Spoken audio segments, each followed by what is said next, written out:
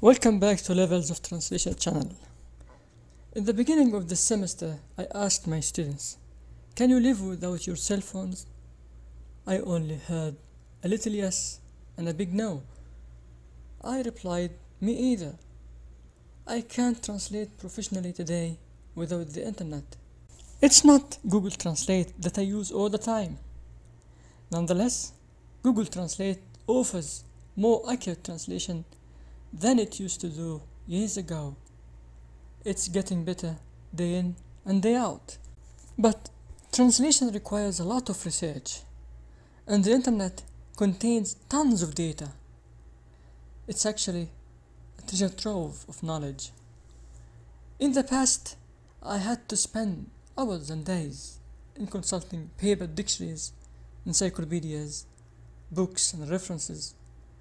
But now everything is possible with a click on the internet.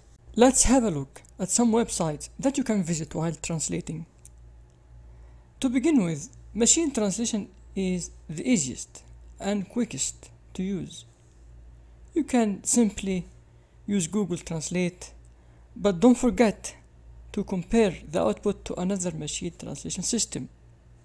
You could find more polished translation for some bits and pieces of the text. For instance, you can use Microsoft Word where you can could find similar, worse or better translation. You just need to be a critical thinker. Next, I use parallel corpora like Reverso, Glosbe, Trex, Almaany to search databases of human translation where you can have a look at contextual examples next to their translations.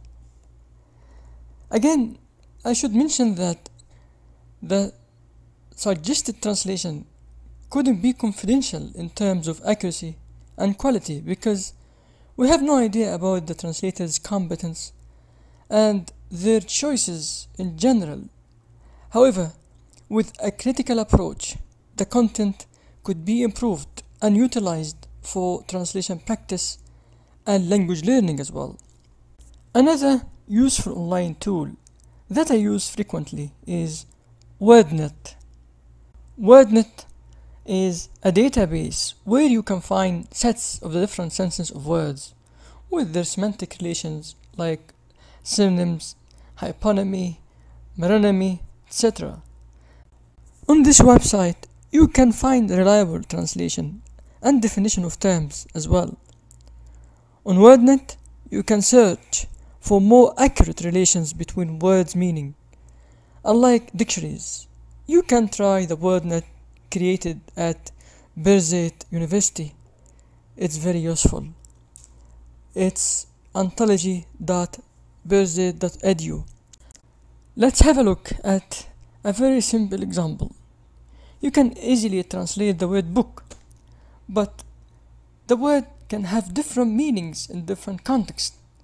For example, address book دفتر العناوين code book دليل الرموز phone book دليل الهاتف oil record book سجل النفط book value القيمة الدفترية book inventory حصر المخزون bookkeeping solution حل محاسبي Thank you for watching and see you later.